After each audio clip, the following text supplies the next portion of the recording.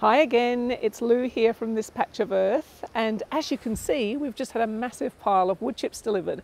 So I thought it'd be an ideal opportunity for us to talk about, well, why do we get them delivered? What do we do with them?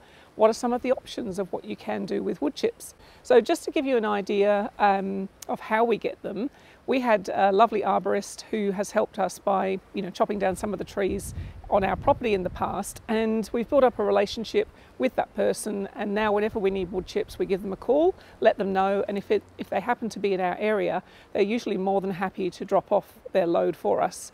So one of the things is that you do have to be happy to take the whole load. They won't deliver a part load for you uh, so you need to have somewhere that you can put that the other thing about it is that some people say you've got to be really careful about what wood chips you get. That hasn't been our experience. Um, people say you shouldn't have eucalyptus wood chips. The first lot of wood chips that we got, we were desperate to get them and they were actually mostly eucalypt. And we, to be honest, we've had absolutely no problem with them. So just some ideas of how you can use wood chips in your garden. There's lots of ways that you can use them, but one you might like to think of is using them to line your paths in your garden. Obviously the wood chips are going to stop your boots or your shoes from getting muddy. They look attractive, they create a lovely habitat for worms and for the wildlife in the soil, but also um, they do really help to create that fungal environment and it does break down over time so that it does actually enrich the soil and any plants that you have that are close to those pathways are able to tap in to that network, the fungal network, and also the nutrients that are created by the wood chips that are breaking down. And of course, it allows the rain to go through, so you're not going to have water rushing off all over your garden. But other ways that you can use it is to um, as a mulch for your trees. So just make sure that when you're putting it around your trees, you do a nice, really thick mulch layer of the wood chips, but pull it away from the actual trunk of your trees because you don't want your tree trunks to stay wet um, because it could help your trunk to rot. So that's really important. And obviously if you've got grafted trees, you've always got to keep that graft line above um, anything that's around the trunk. So there's a couple of ideas there. The other thing that you can do is pop any um, wood chips into your compost to add carbon matter for you.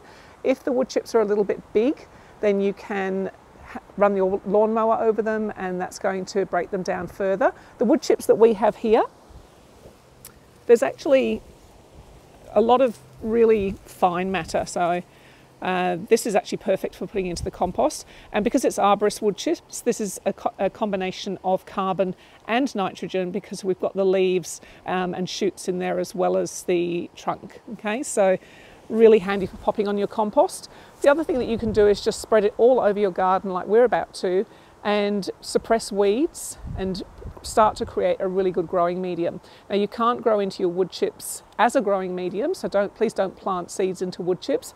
But once you've had them down for a while and they've started to decompose, what will happen is it creates a beautiful, thick, rich, you know, organic soil underneath. And you'll see, you know, when you pull it aside after a few months, it starts to go beautiful and dark and, and lush and rich and you absolutely can plant into that. Even seeds as delicate as carrot seeds, if you pull away that mulch layer and get that lovely thick dark matter underneath, sprinkle your carrot seeds, pop a little bit of sand over the top, and you can totally grow them in, into there as well. So don't be afraid to do that. Um, there are some fantastic videos to, so that you can learn more about this if you're interested, and I will pop um, some links up. There's Canadian Permaculture Legacy, um, there's a, a, the gardening channel with James Prigioni, and there's also um, another one that I found recently, which is just very quick and concise. So if you like the science, but you don't want it to be too long-winded, that's a really good one to find out more about what wood chips can actually do scientifically for your soil.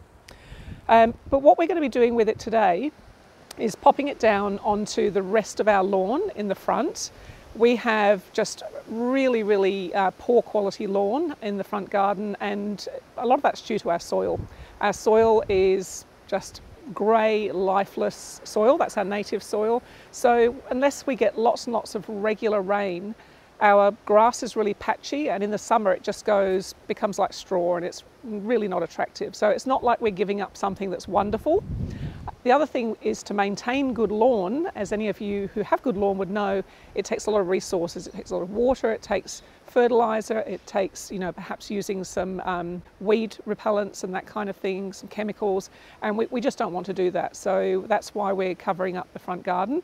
What we will do is as the wood chips break down, we will plant into it, we will put some more trees in, and even as it breaks down a bit further, you can put in other types of plants as well, because I'm going to show you that after you've had your wood chips down, it creates a really beautiful, rich soil underneath. Now, if you are planning to use the wood chips in a similar way to us, which is to cover grass or weeds and start to um, create that fungal dominated, lovely, rich soil, you really do need to use a cover on the weeds before you put the wood chips down. Ideally, something like cardboard or thick paper, things like lots of layers of newspaper does work uh, just to create that initial barrier.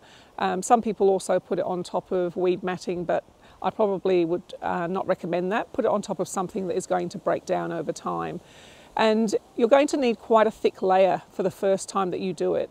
In many areas of our garden, we've actually done six layers of wood chips because it'll start off, you know, quite high when you put the first layer down, but it actually breaks down over time and it sinks and it, it shrinks down. So you can then reapply another layer and another layer. And over the couple of years that we've been working on the garden, some areas have had six layers. So with the first layer that we're going to put down today, you'll see that Theo's going to put it down pretty thickly.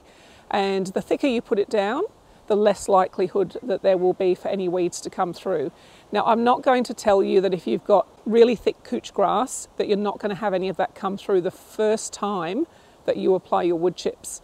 However, if you are persistent and have patience and use plentiful wood chips, you will be able to stop that coming through. And we've done that in our back garden. We have massive areas that have been wood chipped that have absolutely no weeds coming through.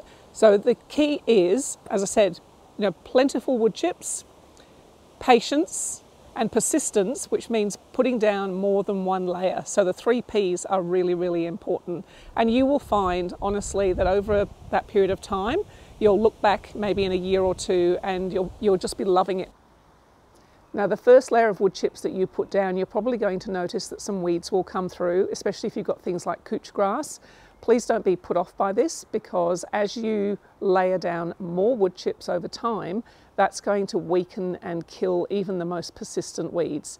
Now you'll also get things like clover popping up in your wood chips um, because obviously birds will drop seeds and the wind will blow seeds onto your wood chips. Now something like clover is actually a soil conditioner and improver, so if you don't mind the look of it, you can leave it there. But otherwise you'll find that um, in the wood chips they actually seem to grow quite spindly and they're very easy to pull out because the roots are really, really long. The other thing about wood chip mulch is it's not a growing medium. So quite often you'll hear Theo and I talking about the fact that we grow in amongst the wood chips. That doesn't mean that we plant into the wood chips. It means that we pull the wood chips back and that beautiful rich dark soil that it's created underneath that is what we plant into. So please don't use your wood chips as a growing medium because it won't be successful.